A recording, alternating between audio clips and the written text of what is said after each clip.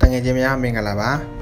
ဒီနေ့မှာဆိုရင်ကျွန်တော်ခရမ်းချင်းကြီးပန်ထွေဖြော်ပြမှာသွားမှာပဲဖြစ်ပါတယ်ဒီရဲ့လောက်တဲ့နီလန်လေးကအရန်လွယ်ကူရိုးရှင်းတာမို့ကျွန်တော်တို့တူတူချက်စားကြရမှာနော်အရသာလည်းအရန်စားကောင်း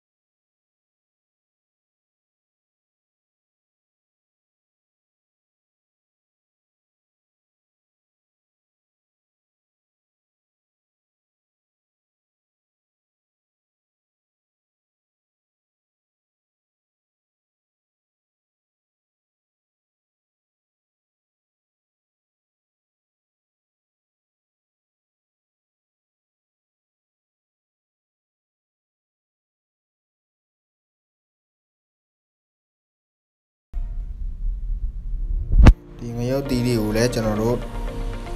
နည်းနည်းဒါမျိုးလေးတွေပေါ့နော်ပပပပတိတိတိလေးတွေလီပြီးသွားမှာပဲဖြစ်ပါတယ်အားလုံးလီပြီးသွားပြီဆိုရင်တော့ကျွန်တော်တို့ခရမ်းကျင်တီကိုကျွန်တော်တို့ရည်နွေးနဲ့ကျွန်တော်တို့နည်းနည်းလူးသွားရအောင်ကျွန်တော်တို့ပြုတ်မှာပဲဖြစ်ပါတယ်အဲတကယ်လို့ပေါ့နော်ဒီ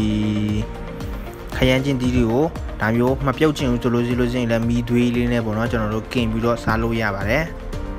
ကျွန်တော်ကတော့အလွယ်ကူတဲ့နီလန်လေးကျွန်တော်သုံးရတာဖြစ်ပါတယ်ဒီခရမ်းကျင်သီးတွေကိုနော်ကျွန်တော်ကတော့ဒီရင်နွေးအိုးရင်နွေးနဲ့ပေါ့နော်ကျွန်တော်တခါတည်းထည့်ပြုတ်လိုက်ပါတယ်နည်းနည်းလေးအထက်အသားလေးနည်းနည်းနွမ်းသွားတဲ့အထိပေါ့နော်နွမ်းသွားပြီးတော့အားလုံးကိုကျွန်တော်တို့ရောချိလိုက်မှာပဲဖြစ်ပါတယ်ရောချိပြီးတော့အစောကကျွန်တော်တို့ငရုတ်တီငရုတ်တီတောက်ကိုကျွန်တော်တို့ပပလီတဲ့တာကိုထည့်ပါမယ်ပြီးတော့ကြက်သွန်နီထည့်မှာဖြစ်ပါတယ်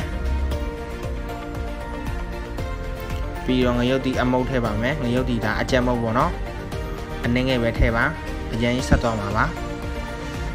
ပြီးရင်တော့ကျွန်တော်တို့ဒီပစုံငံပြာကြီးထည့်လို့ရပါတယ်ပြီးရင်ရတာမုတ်ထည့်ပါတကယ်လို့ငံပြာကြီးကနည်းနည်းနဲတယ်ဆိုလို့ရှိရင်လည်းနောက်ကနေပေါ့နော်ဒီစားလေးအနည်းငယ်လိုက်ပေးပါပြီးရင်အားလုံးကိုကျွန်တော်တို့ရောသမမွေပြီးလိုက်ပါဖြစ်ပါတယ်အားလုံးနှံ့သွားရအောင်ပေါ့နော်အရသာတွေအဲဒီထဲမှာကျွန်တော်တို့နနံပင်လည်းထည့်လို့ရပါတယ်เนาะ ဒါကိုထမင်းနဲ့ပဲဆက်စားဒီလိုပဲဆက်စားအရင်လဲစားလို့လည်းကောင်းတယ်နော်ခရင်ချင်းဒီစားခြင်းအပြင်တွေးသားတွေလည်းလှစီပါတယ်နော်ဒါတော့ရပါပြီဒါအလွယ်ကူတဲ့နီလန်ကိုကျွန်တော်လုပ်ပြတာပဲဖြစ်ပါတယ်